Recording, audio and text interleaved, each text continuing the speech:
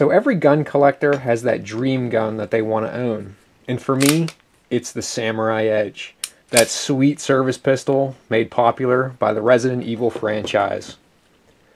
The most recognizable part of the Samurai Edge is the grips with the STARS logo. I came across a site where the site owner makes custom Beretta grips. And when I saw that he made Samurai Edge grips, man, I just, I had to have them.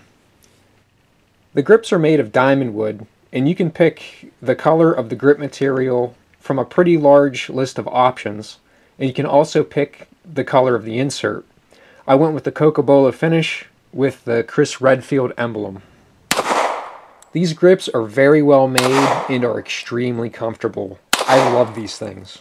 And when they have the zombie shoot at my local range, this is the gun I'll be using. So where did I get these? I got them from the website dsgrips.com. And even if you're not into Resident Evil, it's not really your thing, still go check out this site. It's pretty interesting to see all the different uh, custom grip options that they have for the Beretta.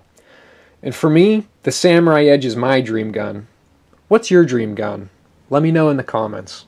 Anyway, as always, you guys be safe, and thanks for watching.